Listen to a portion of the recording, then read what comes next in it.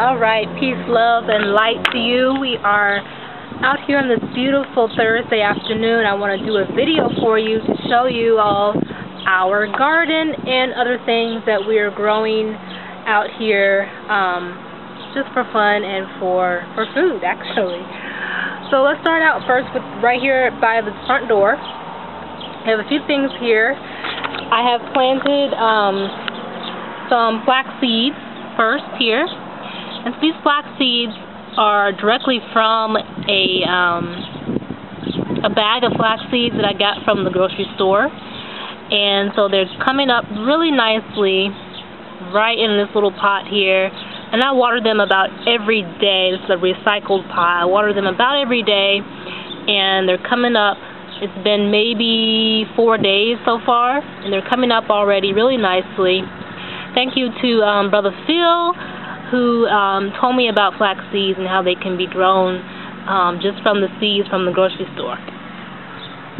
So I have some um, sunflower seeds here growing. You see one coming up right there.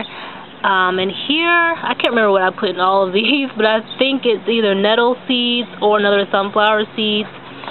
Down here we have strawberries.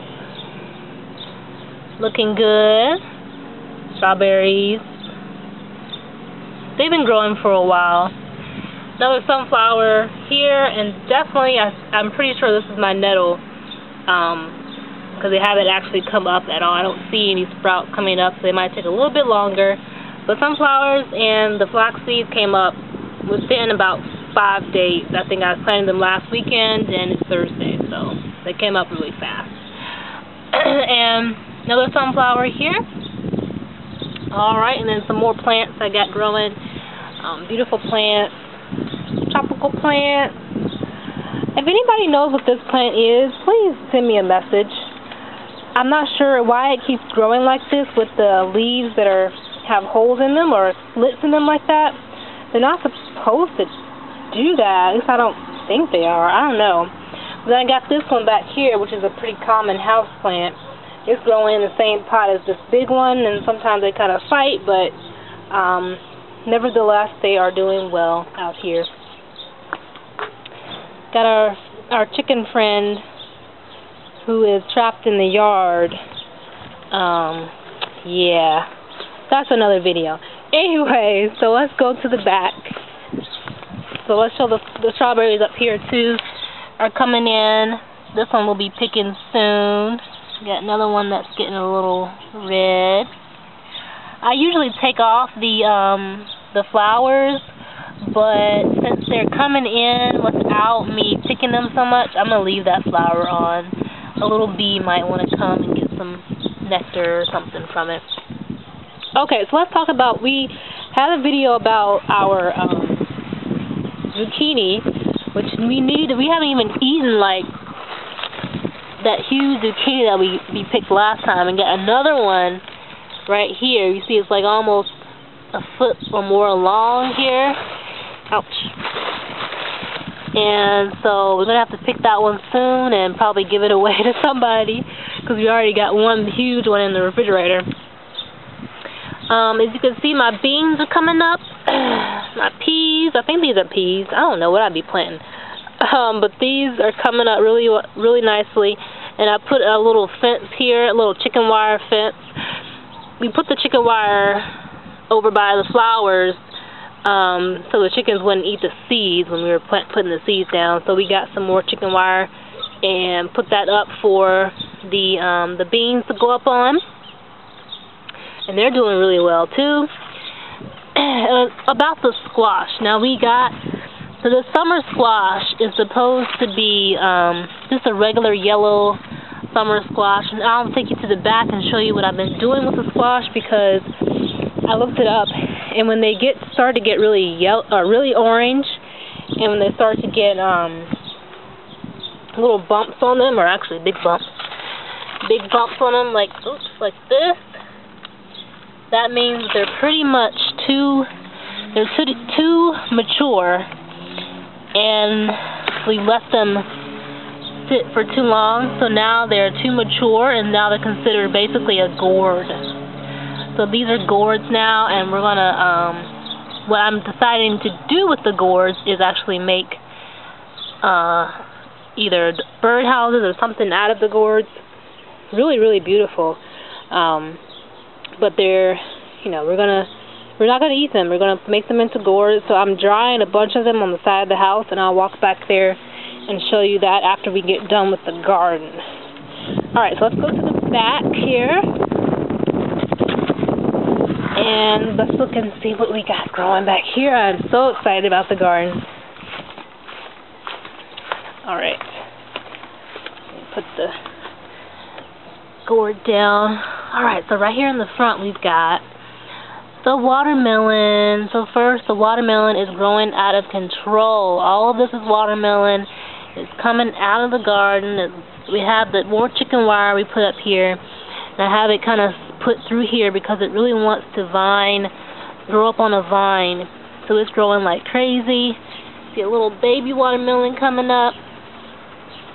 So yeah, watermelon is all the actual um, planted watermelon was way down over here. You can see here the watermelon leaf way down over here, and so it has stretched all the way over there and all the way, ooh, tomato plant, all the way over here.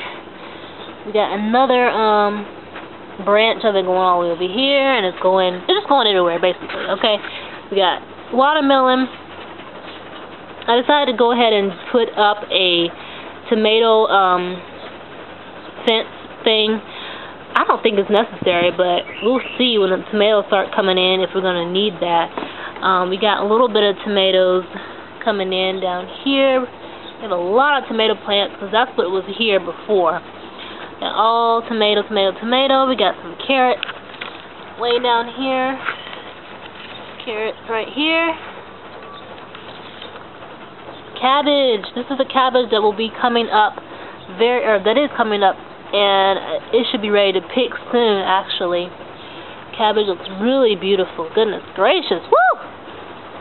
Look at that cabbage. Okay another cabbage, another um, cabbage. We got six cabbages. These might actually be just smaller cabbages. That reminds me of that show or that movie, um, that horror movie. Y'all know what I'm talking about. okay, so we got the collard greens are being eaten up by little worms. That's okay. They gotta eat too, become beautiful butterflies. Collard greens, collard greens, collard greens. And let's take a look over here. We've got, I gotta get up in here a little bit better here. Uh, we've got three of the, um, of the, um, bell peppers growing here. Here's one, another one down there, and another one right there. And we have a special bell pepper that Marcus wanted to get. I'll show it to you in a second, but we got the green onions, well, actually, these are onions, but the green chives can be eaten as well. More collard greens all in the back. We pick those a lot, and we eat those almost every night. We eat the collard greens, cooking them up almost almost every night. So I'm gonna step back over here in the corner. We got um, this is actually um, dang um, I'm losing it. I'm losing it. Sugar, sugar cane. This is a sugar cane that we planted. We bought this from a um, from the farmers market. A guy at the farmers market selling a lot of different um, exotic uh, fruits and vegetables that are Asian. And he had this sugar cane, so we bought a piece. And um, and basically we re we used it for a little while, but then we started getting dry, dried up a little bit. So we decided to go ahead and plant it. I had put it in some water, but it didn't really do well in the water. And then we had somebody come over while we were on vacation to water our plants, and he was like, "Yeah, you know, you can put that sugar cane in the ground, and you got, but you got to put it in sideways, like this." So you put it in sideways, and it sprouts up like this. So these are sugar cane pieces or leaves that are growing up right here. Isn't that beautiful and awesome? Alright, So now we got a special um, pepper back here that Marcus wanted. These are purple peppers. Look how beautiful and dark that is. Got this purple pepper here. And then we got some habanero peppers that are, should be coming up soon, I hope. But, um, so I'm not even showing y'all I'm looking at. Okay, so these I think are habanero peppers. They might be coming up pretty soon, hopefully. I actually might take some leaves off of here and just try them. Alright, oh, and last but definitely not least, because they have been really good, are these tomatoes that were growing in the topsy-turvy up here. Look how beautiful these look. And they are so good. They're small, but they're getting really ripe. And um, so I'm trying to, you know, feel them and touch them because they look so good. Every time I come out here, I want to try one. But um, some of them are still not really that soft. You these one of them are still green and turning. So Alright, that is the garden so far. Oh, let me show you. Let me go around to the other side and show you all the um, the gourds that were hanging in the back. Oh, no. That does not look good. Um, let me see what's on. Okay, so here are the gourds that I got hanging here. And some of them are up here on this shelf. Oh, hey, how you doing? Hi! The neighbors. Um, so yeah, these gourds I got hanging up here, hopefully they will dry. I think it said you're not supposed to have them in sunlight, but I'm just going to see what happens. We have plenty more that are coming up, so I'll see what happens with them drying in the sun. I feel better when they dry in the sun. I don't know. We'll see.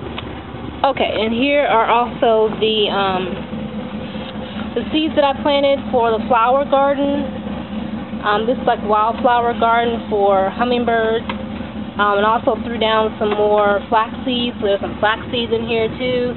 Man, I don't even know what this is coming up right there. It looks a little bit different from other the other little seedlings. But we'll see what comes up. Alright, thank you all for watching. Peace and blessings and light to all of you. May you all be blessed.